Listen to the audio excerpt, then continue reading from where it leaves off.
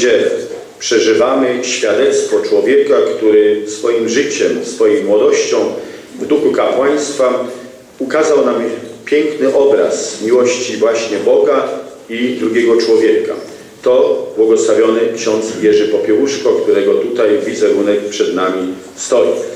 E, ten człowiek pozostawił po sobie wielki ślad właśnie swojej wytrwałości i swojego przywiązania do chrześcijaństwa, trzymając w dłoni krzyż święty i wypowiadając tę szczególną, te szczególne słowa, że dobrem należy zło zwyciężać, szedł przez swoje życie w trudnych czasach, w czasach przemian, ale w czasach również jeszcze totalitaryzmu, kiedy komuna i kiedy tamte ówczesne rządy tak bardzo mocno przygniatały człowieka, przygniatały to wszystko, co stanowiło naród, co stanowiło pewną odpowiedzialność za Polskę, za ten kraj, który stanowiliśmy.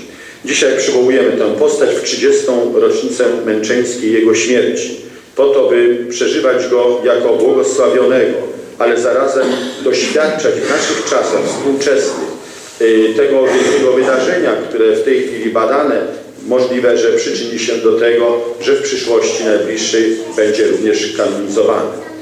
Drodzy, podczas tej mszy świętej, jako intencja szczegółowa, to modlitwa nasza wspólna za Ojczyznę, o odnowę moralną, duchową społeczeństwa, byśmy tak wierni, idąc przez historię naszych dziejów w duchu chrześcijańskim, dalej podążali, mocni w wierze, idąc za słowami świętego Pawła II papieża, bądźcie mocni w wierze, mamy iść, dawać świadectwo Ewangelii. Swoje życie rozpoczął na Podlasiu, tam urodzony w 1947 roku, we wrześniu, tam dostał i otrzymał podstawowe szlify wychowania i kształtowania swojej duchowości od rodziców, ludzi skromnych, pracowitych, oddanych Panu Bogu.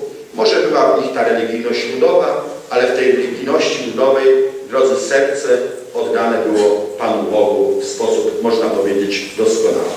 W 1980 roku, jak wszyscy pamiętamy, był skierowany do pracy w Warszawie na Żoliborzu, w kościele świętego Stanisława Kostki i tam też, można powiedzieć, dokończył swoje dzieło.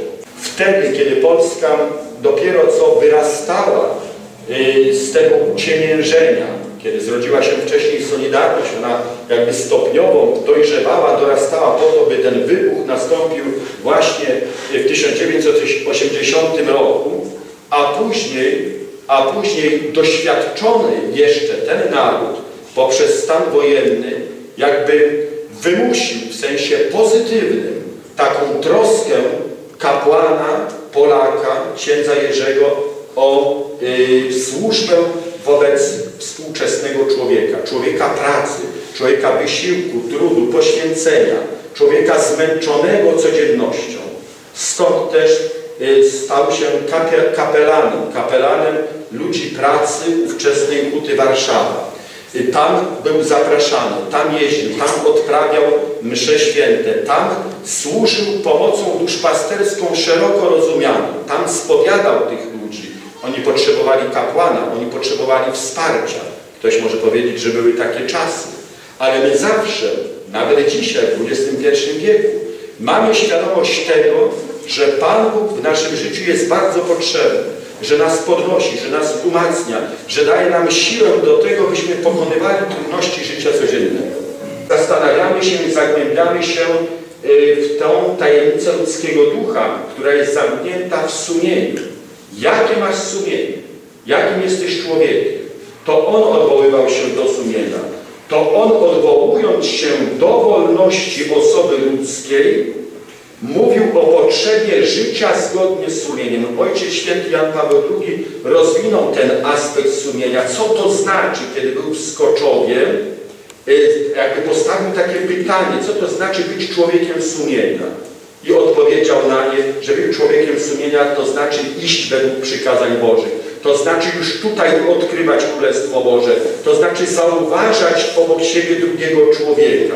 To bardzo mocno zostało wypełnione przez osobę błogosławionego y, księdza Jerzego.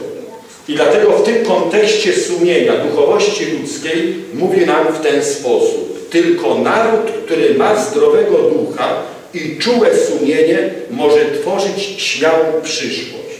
Co to znaczy tworzyć śmiałą przyszłość? To znaczy być człowiekiem, który opiera na prawdzie i miłości to, co jest takim fundamentem. A ten fundament przecież on, jako Jerzy jeszcze, wyciągnął z domu rodzinnego. To tam matka i ojciec pieczołowicie pielęgnowali te wartości naj, najważniejsze. I z tym bogactwem wyszedł z tego domu rodzinnego i kierował się tym sumieniem. Stąd też potem, kiedy bierze krzyż w swoje ręce i kiedy śpiewa wraz z innymi ojczyzną ma, tam odwołuje się właśnie do Chrystusa. Chrystusa ukrzyżowanego, któremu uwierzyliśmy i z którym idziemy przez całe nasze doczesne życie. 1984 rok jest takim momentem bardzo trudnym, ale do końca wierny Chrystusowi, do końca wierny Ojczyźnie, narodowi, służył aż po męczeństwo. I drodzy, kiedy jesteśmy w Warszawie, kiedy przybywamy do tego miejsca, gdzie został pochowany błogosławiony ksiądz Jerzy Popiełuszko, kiedy wchodzimy do podziemi kościoła świętego Stanisława Kostki, tam widzimy te ostatnie momenty, te ostatnie chwile z jego posługi kapłańskiej. I tam poprzez wzruszenie możemy na nowo pytać siebie, jakie jest nasze chrześcijaństwo, jakie jest nasze poszukiwanie prawdy, jakie jest nasze życie prawdą.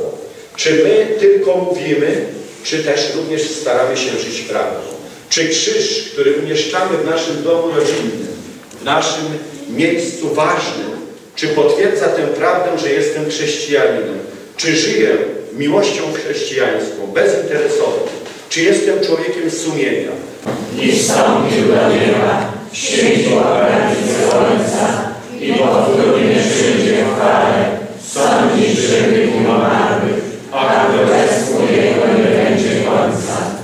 Módlmy się za Polaków przebywających za granicą, aby swoją pracą i życiem przynosili chlubę Ojczyźnie. Ciebie prosimy. Wysłuchaj nas, Panie, Módlmy się za tych wszystkich, którzy oddali swoje życie za wolność, niepodległość Ojczyzny, abyśmy poruszeni przykładem ich patriotyzmu, odpowiedzialności i duchowości mogli ich w codziennym życiu naśladować. Ciebie prosimy.